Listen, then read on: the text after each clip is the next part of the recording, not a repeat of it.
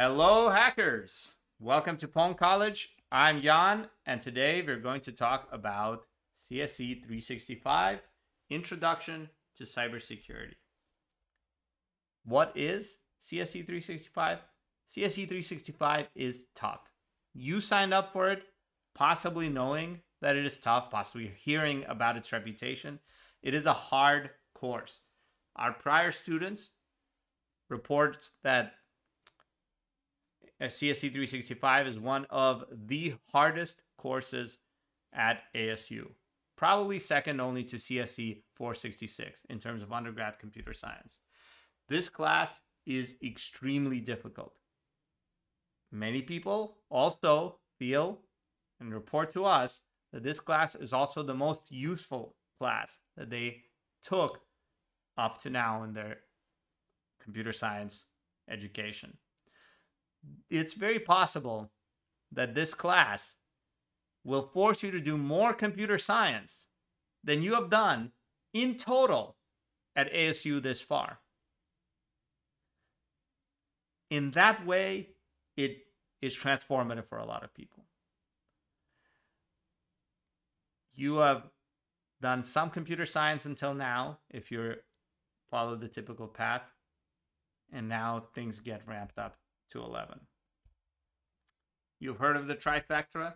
There is no more trifecta. There is the one factora, and the one factora is CSE 365.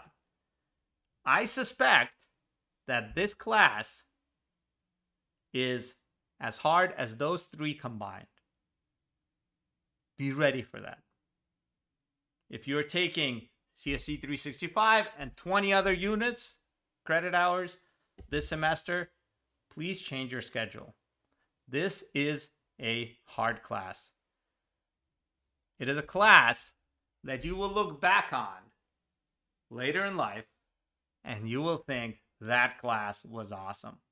But during this semester, that will possibly not be your experience. This class is type 2 fun, the type of fun that you don't feel is fun while you're having it. You feel it's fun looking back. Keep that in mind as the semester progresses as well. Helps keep your perspective on the goal. All right, this class will take you a lot of time. According to the Arizona Board of Regents, we get at least nine hours a week of your time.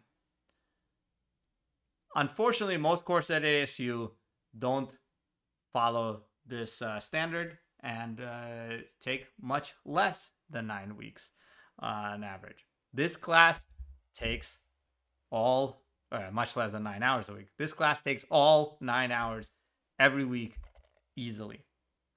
The median student in CSE 365, and we have a lot of data on this, takes about 10 hours a week on a typical module in this course.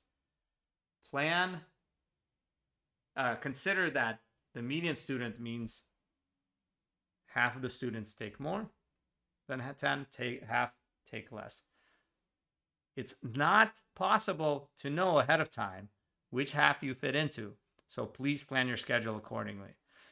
This time is necessary. You need to immerse yourself in computer science and cybersecurity to learn this stuff in a similar way to needing to immerse yourself in a foreign language to learn it. That's what this class will help you do.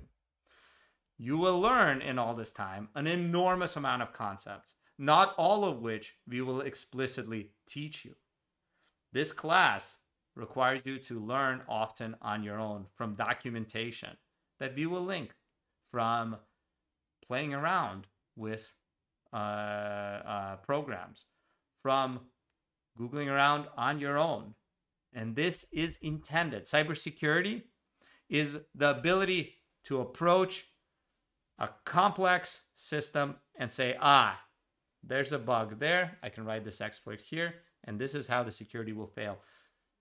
It is unlikely that the systems that you'll approach in the real world are going to be made up fully of components that you already know.